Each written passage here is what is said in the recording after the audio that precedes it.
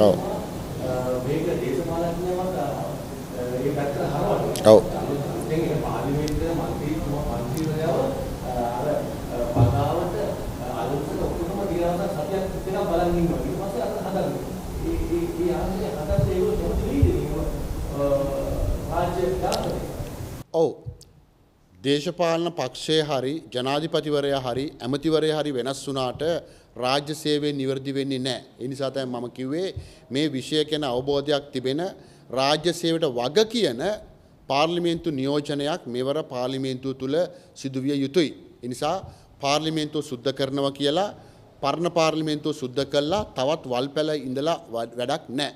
අපි ඉන්දන්න ඕන. අපි යවන්න ඕන මේ රාජ්‍ය සේවයේ බිඳ වැටීම ගැන අවබෝධයක් තිබෙන එක නිවැරදි කරන්න පුළුවන් ශක්්‍යතාවයක් තියෙන අපේක්ෂකයින්. ඉතින් අපි කොළම දිස්ත්‍රික්කයේ සමගජන සන්ධාන අපේක්ෂ කණ්ඩායමේ නියෝජනය කන වෘත්තිය සමතියා සිවිල් සංවිධාන ක්‍රියාකාරී වරයා විදියට අපි ඉතා පැහැදිලිව කියනවා රාජ්‍ය සේවයේ දූෂණ වංච අක්‍රමිතා අපි හඳුනාගෙන තිබෙනවා ඒවා අවම කිරීම සඳහා වන ප්‍රතිපත්ති රාමු අපි ප්‍රායෝගිකව සකස් කරලා තිබෙනවා.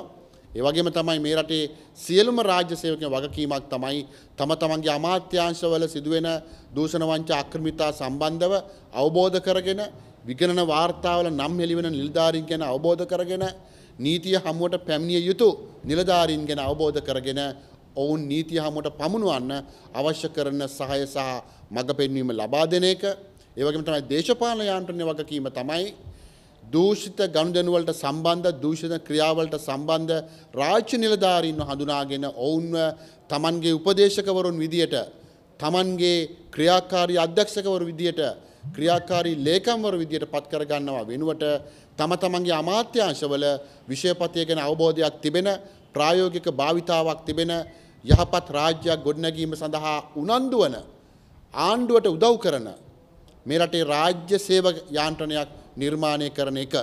කියන්නේ ආණ්ඩුවට උදව් කරනවා කියන්නේ දේශපාලන ගැතිකම් කරනවා කියන එක නෙමෙයි. දේශපාලන පක්ෂයක ගැතිකම් කරනවා කියන එක නෙමෙයි. මේ රටේ මහජනතාව වෙනුවෙන් Tamanට වැටුප් ගෙවන බදු මුදල් වලින් වැටුප් ගෙවන මහජනතාව වෙනුවෙන් පෙනී සිටින රාජ්‍ය නිලධාරී යාන්ත්‍රණයක් අනිවාර්යයෙන්ම ඇති කරන්න ඕන. යහපත් රාජ්‍ය නිලධාරී යාන්ත්‍රණයකින් තොරව මේ රට ඇතුලේ මේ රටේ මහජනතාව බලාපොරොත්තු වන ක්‍රමවේද වෙනස කිසිසේත් ඇති කරන්න බෑ. ඒක අපි කියන්නේ රැල්ලට ගිහිල්ලා කතිරේ ගහලා මාස හතරක් පහක් ගියාම ඒ ගැන පසුතැවෙන රාජ්‍ය සේවයක් වෙනුවට මේ ගැන අවබෝධයක් තිබෙන ප්‍රායෝගික විසඳුම් තිබෙන රාජ්‍ය සේවය නිවැරදි කරන්න ප්‍රායෝගික වැඩසටහන් ඉදිරිපත් කරපු කෘත්‍යවේදියෙක් විදියට කොළඹ දිස්ත්‍රික්කයේ නියෝජනය කරමින් ඒ වැඩසටහන අතේ තියාගෙන තමයි අපි මැතිවරණයට තරඟ කරන්නේ. ඒ නිසා අපට විශ්වාසයි ඉදිරි පාර්ලිමේන්තු මැතිවරණයෙන් පස්සේ යහපත් රාජ්‍ය සේවයක් වෙනුවෙන් බලය සිටින ජනාධිපතිවරයාට පාර්ලිමේන්තුවේ බහුතර බලය පිහිටුවන සමගජන සන්ධාන ආණ්ඩුවක් ඇතුළු ඉඳගෙන ඒ ක්‍රමවේද වෙනස අනිවාර්යයෙන්ම නිර්මාණය කරන්න පුළුවන් කියන එක අපට විශ්වාසයි. දැන් මේ සමාජ කතාව කියන මේ බෙහෙත් කම්පැනි දේශපාලනයකට කල්ලස් ලබා දෙනවා වෛද්‍යවරු බීබාන. වෛද්‍යවරුන්ට කල්ලස් ලබා දෙනවා කියලා සමාජයේ කතාවක්. දැන් මේවා ගැන ඔබතුමාලා මොකද කියන්නේ වෛද්‍යවරු ඔබතුමාලාගේ යාළුවෝ ඉන්නවනේ මෙහෙම කියන්නේ වෛද්‍යවරු නිර්දේශ කරනවා මේ මේ බෙහෙත් ගන්න. මේ මේ කම්පැනි මේ බෙහෙත් ගන්න. එහෙම කියනවා. මේ කම්පැනි මේ කම්පැනි වෛද්‍යවරුන්ට මාත්‍යාට දම්දුම් ලබා දෙනවා මේ මොන හරි වෙනවද? ඒ සම්බන්ධයෙන් මොකද කියන්නේ?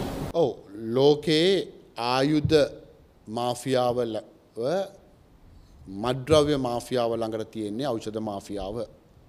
එතකොට ඖෂධ සමාගම් තමන්ට අවශ්‍ය කරන විදියට වෙළඳපොළ හැසිරවීම සඳහා අතරමැදියන් විදියට සෞඛ්‍ය වෘත්තිකයන් භාවිතා කිරීම ලෝකයේ හැම රටකම ක්‍රියාත්මක වෙනවා. එකට හේතුව තමයි දැන් අපි කඩේකට ගිහිල්ලා බඩුවක් ගත්තම අපි තමයි තීරණය කරන්නේ ඒ ඇඳුම ඇඳුමේ පාට අපි ගන්න වාහනේ නා වාහනේ පාට වාහනේ වර්ගය. හැබැයි බෙහෙත් ගන්නකොට බෙහෙත මොකද්ද ගන්න බෙහෙත්තේ බ්‍රෑන්ඩ් එක මොකද්ද බෙහෙත ගන්න ඕන කම්පැනිය මොකද්ද ෆාමසිය මොකද්ද කියන එක තීරණය වෙන්නේ බොහෝ විට අතරමැදියන් ලෙස වැඩ කරන වෛද්‍යවරු විශේෂඥ වෛද්‍යවරු හා සෞඛ්‍ය වෘත්තිකයන්. ඒ නිසා මේ අතරමැදි ඒජන්තවරයෙක් විදියට සෞඛ්‍ය පද්ධතිය ඇතුලේ වෛද්‍ය කණ්ඩායම් සෞඛ්‍ය කණ්ඩායම් කටයුතු කිරීම අනිවාර්යයෙන්ම නිරන්තරව සිද්ධ වෙන දෙයක්. ඒතර ඒක වෙනස් කරන්න පාලනය කරන්න තමයි අපේ රටට 1970 දශකයේදී සේනක බිබිලේ සෞඛ්‍ය ප්‍රතිපත්තිය හඳුන්වා දෙන්නේ. හැබැයි අවාසනාවට වගේ පසු කාලෙන අපි දකින දෙයක් තමයි අපේ රටේ මේ සෞඛ්‍ය පද්ධතිය ඇතුලේ වන නියාමනය අහිමිවීම නිසා අවශ්‍ය කරන මඟ පෙන්වීම අහිමිවීම නිසාත් වෛද්‍යවරුන්ට විශේෂඥ වෛද්‍යවරුන්ට අර මං මුලින්ම කියපු විදියට ජීවත්වීම සඳහා ප්‍රමාණවත් වැටුප් නොලැබීම නිසා ඔවුන්ගේ වැටුප වැඩි කරනවා වෙනුවට පෞද්ගලික වෛද්‍ය සේවය යෙදෙන්න අවස්ථාවක් ආරාධනයක් කරන්න රජය තීරණය කරනවා. දැන් පෞද්ගලික වෛද්‍ය සේවය යෙදෙන්න වෛද්‍යවරුන්ට අවස්ථාව ලැබීමත් එක්ක අර ඖෂධ සමාගම් වලට ඉතා හොඳ අවස්ථාවක් ලැබෙනවා මේ වෛද්‍යවරු හරහා Tamanට අවශ්‍ය කරන ඖෂධ රෝගීන්ට නිර්දේශ කරවා ගන්න. ඒතර ඒක ප්‍රතිඵලයක් විදියට ඇතැම් වෛද්‍ය කණ්ඩායම් සෞඛ්‍ය වෘත්තිකයන් ඖෂධ සමාගම් වලට අවශ්‍ය ඖෂධ නිර්දේශ කිරීම සිදුවෙන බව නොරහසක්. ඒ වගේම තමයි සෞඛ්‍ය වෘත්තිකයන්ට අදාළ ඖෂධ නිකුත් කරන සමාගම් වලින් ඔවුන් නිකුත් කරන ඖෂධ ප්‍රමාණය මත නැත්නම් මාසිකව රෝගියාට නිකුත් කරන ඖෂධ ප්‍රමාණ මත විවිධ වරප්‍රසාද වරදාන විදේශ සංචාර වෛද්‍ය වැඩමුළු වෛද්‍ය වැඩමුළු සඳහා වන අනුග්‍රහ ලබා දීමත් නොරහසක්. ඒ නිසා මං හිතන්නේ අර අල්ලස කියන එක මේ මුදලට අල්ලස් ලබා ගැනීම නෙමෙයි.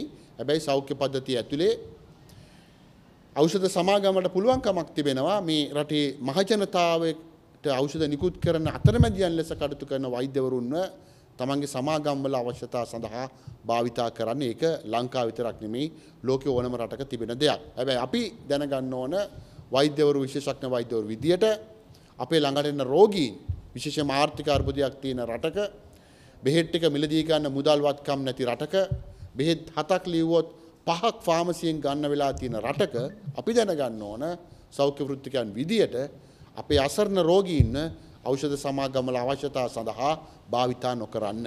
ඒ නිසා තමයි අපි පෞගිය කාලේ මේ රටේ වෙච්ච බරපතල දූෂණ වංචා ආක්‍රමිතා ගැන හෙළි කළේ. ඒ නිසා මේ රටේ රජයට වෙච්ච ලාභය කෝටි 800ක් කෝටි 1000ක් අවම තරමේ. ඒවට කිසිදු අවස්ථාවක රජයේ පෙරලා ප්‍රශංසා කරනවා වෙනුවට කරේ අපිව මර්ධනය කරන එක. හැබැයි අපි ඒ මර්ධනය හමුවේ අපට පුළුවන්කමක් ලැබුණා අවම වශයෙන් අවසාන අවුරුදු තුනේ විතරක් මේ රටේ සෞඛ්‍ය පද්ධතිය වෙච්ච සිදුවීමට තිබිච්ච මිනිස් ජීවිත හානිය සහ මූල්‍ය අලාභය නැත්නම් ආර්ථික ඝාතනය සහ මනුෂ්‍ය ජීවිත ඝාතනය අපට සීමා කරන්න අවම කරන්න.